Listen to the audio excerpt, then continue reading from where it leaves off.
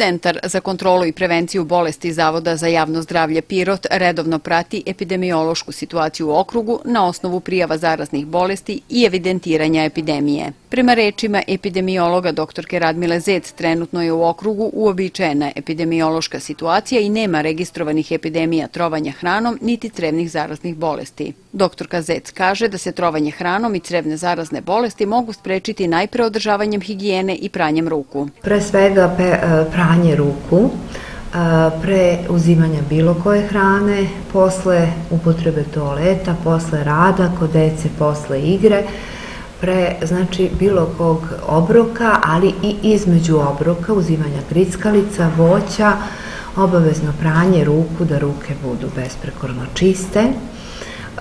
Voće i povrće temeljito prati na mlazu tekuće vode, svaki plot posebno, što je jako važno, s obzirom da bude često na površini prisustvo i zemlje, nekada naročito lisnato povrće, salate, spanaći, zelje, da može da se nađu tragovi stajskog džubriva koji imaju u sebi bakterije, i mogu dovesti do tih, e, ta, tog trovanja hranom. Kod pripreme hrane neophodno je voditi računa o termičkoj obradi namirnica. Takođe je neophodno sprečiti mešanje sirove i pripremljene hrane i voditi računa o higijeni radnih površina, kaže dr. Kazec. E, kada se radi na, u kuhinjama, naročito većim kuhinjama, bilo da su to restorani društvene ishrane ili uopšte restorani, posebne daske i poseban pribor za sveže e, namirnice, za sveže meso, e, poseban za termički obrađene namirnice.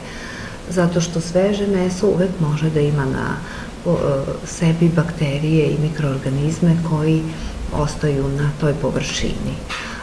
Zato je jako bitno da se vodi računa o toj nekoj separaciji sveže sirovo i spremljeno termički.